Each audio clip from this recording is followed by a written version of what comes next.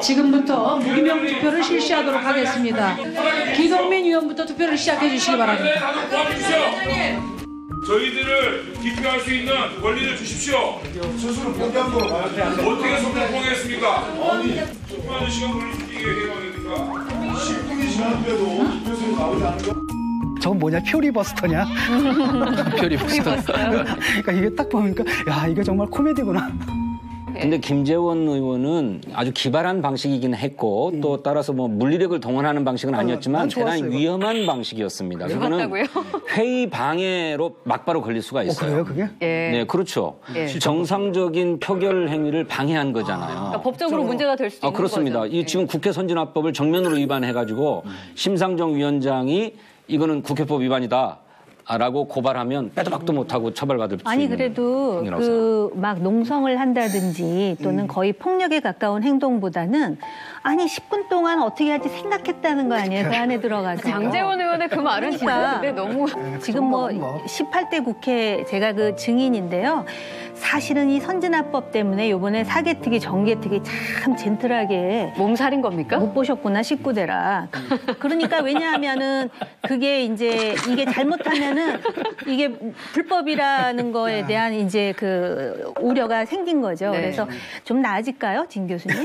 어떻게 보십니까? 나는 차라리 그 장재원 네. 의원이 발언하잖아요. 근데 네. 그 발언이 굉장히 설득력 있게 들렸거든. 입법부의 구성을 결정하는 이 선거제도를 공수처하고 바꿔치기 합니까? 이것이 정의로운 겁니까? 이 제도가 그렇게 좋은 제도입니까? 누더기 아닙니까? 허들이 아닙니까? 허접한 연동이 아닙니까?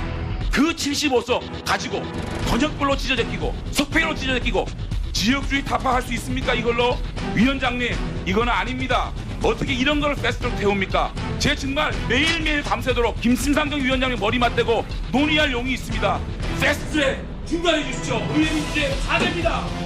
자, 발언 잘하셨어요.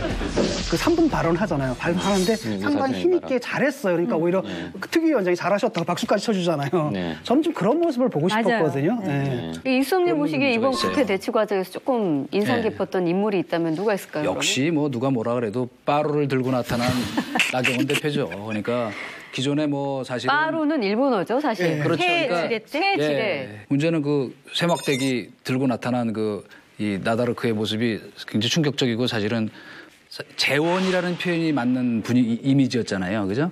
공부 잘하고 그 똑똑하고 뭐 그 단정하고 근데 이번에 진짜로 그 투사형의 정치인으로 변신하는 걸 보였다는 점에서는 그건 모르겠어요. 이게 좋은지 나쁜지는 그러나 이미지 변신에는 확실히 성공했고 말하면 야당 지지 그룹 내에서는 다시 봤다 하는 평가가 지금 그 확실히 생겼죠. 그렇게 스포트라이트 받았던 장면이 제 기억엔 두 개가 있었던 것 같습니다. 하나는 말씀하신 대로 노루발 못법이를 들고 나왔을 때의 모습이고 네.